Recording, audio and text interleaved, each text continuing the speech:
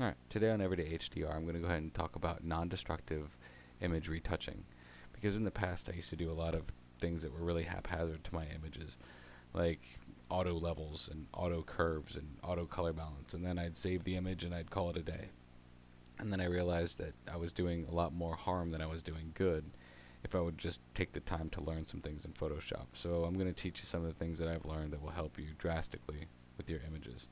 So the first thing I want to get myself in the habit of every time I open up an image that I'm about to edit is to press Control J on the background layer and that's going to duplicate the layer so that any editing I do to that layer to this image won't affect the original background. And you can even just go ahead and take your eyeball and turn off the background layer if you'd like so that you know that you're not touching that one.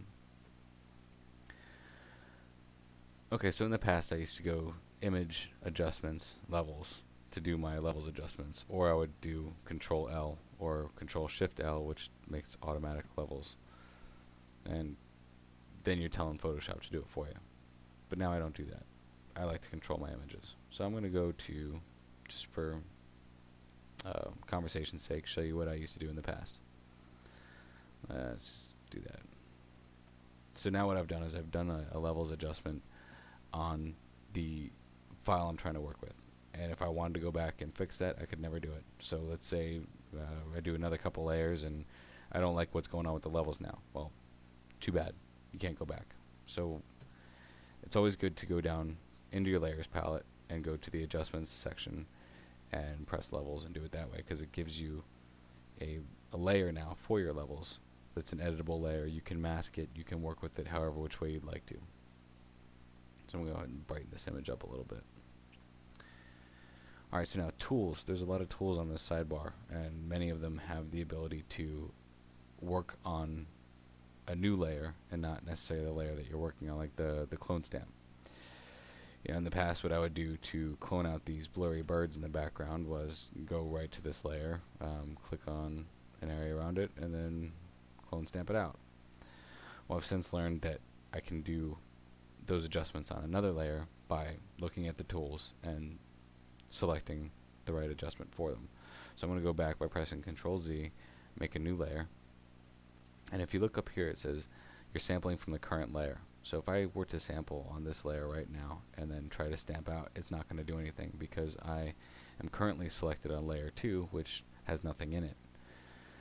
But if I go to Align Sample and then click on Current and Below, or all layers, but I'm going to go to current and below because I only want it to affect anything that's on this layer and anything below it. Press current and below, press alt right here, and now I can blur out my bird. Same thing goes for the spot healing brush. Sample all layers, have that checked, and when you sample all layers and go to the spot healing brush, click on the other bird, it heals it. So I'm going to go ahead and rename this um, below stamps so that I know that these were clone stamps. So if you want to see what happened there, it basically ha have a new layer. That's all it's selected. And you can see what's, what's happened there. I typically prefer a blurred edge on any of my stamping so that it blends a little bit easier. So with my healing brush tool, it looks like I need to go ahead and make that a softer edge brush, but I can live with that for now. So then let's look at uh, like this area right here. You see how that wall is yellow and then it gets a little brownish? I want all of that to blend and the best way I see to do that is to do a color balance.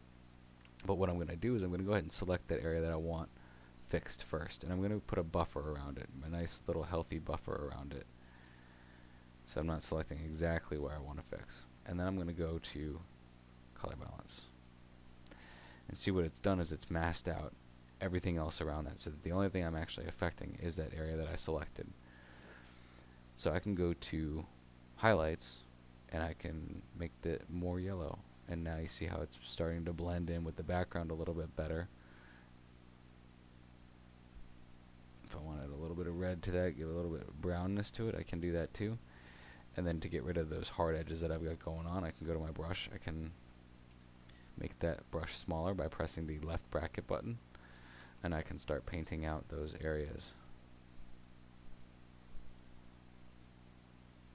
And all of this is non-destructive. I'm not doing anything to anything below. Mm, that's the original image right there.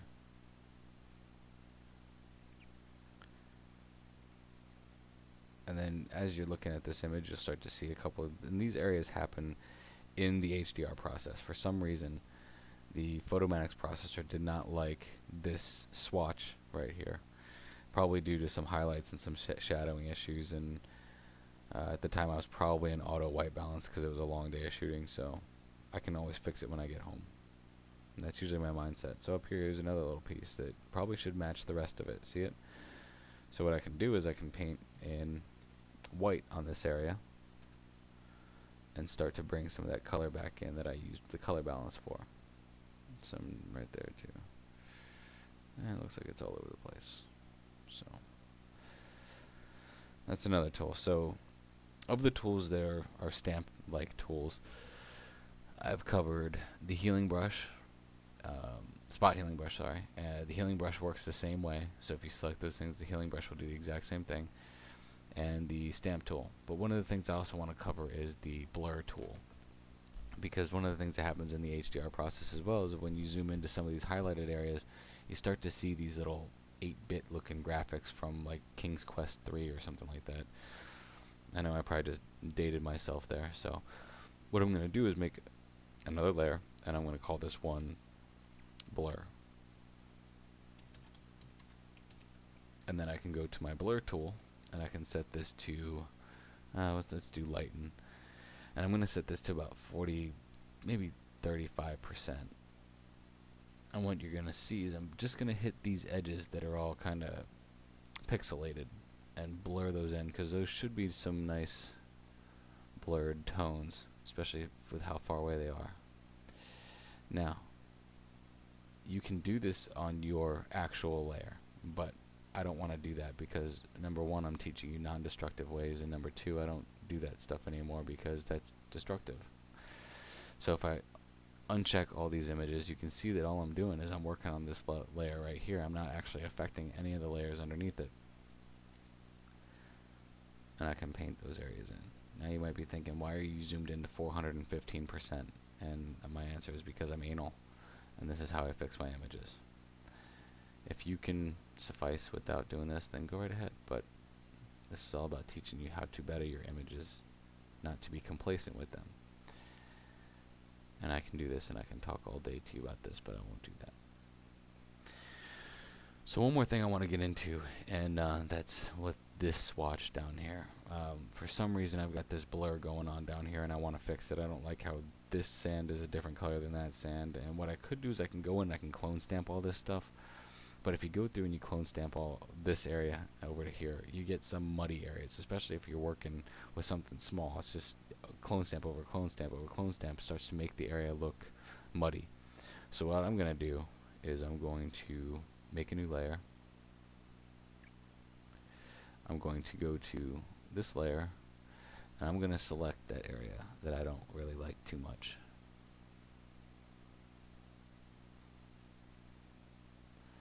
And then what I'm going to do is slide over here a little bit and sample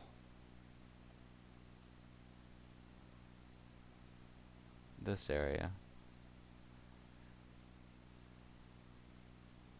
And I'm just going to press Control C and then go back over to this area and press Control D to get rid of my selection and then Control V. So now what I've got is a sampling of that area which is nice and fresh and clean with the sand and then I'm just going to bring it right over here and place it exactly where I want it. And then I can rotate that by pressing Control T to make it exact. And then I can slide it up. And if you ever see that you're getting a, little magnet thing going on here, because Photoshop sees something underneath that it wants to connect that to. So if you hold control, you can freely move that area around and not have to worry about Photoshop trying to make the decision for you. And then you can put a mask on it. and you can start blurring out those hard edges. So that it blends really nice and easy with everything else.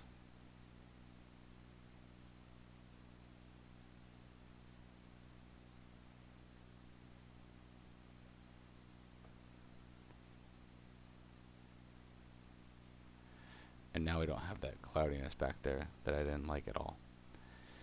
So that's pretty much your, your start on non-destructive elements. So what you need to keep in mind is if you're going to continue editing this image, which I would probably continue editing further, but it would be repeats of what I've already showed you. The main thing to keep in mind is that when you're using tools, use them in non-destructive manner. Sample all layers, create a new layer, and use that tool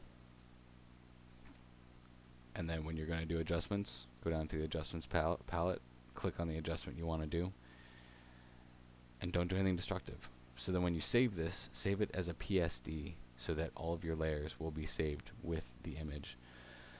And then when you want to save something for the web, you can save it for the web off of that PSD as a JPEG or a TIFF or a GIF or however you want to save it. Alright, thanks for watching guys.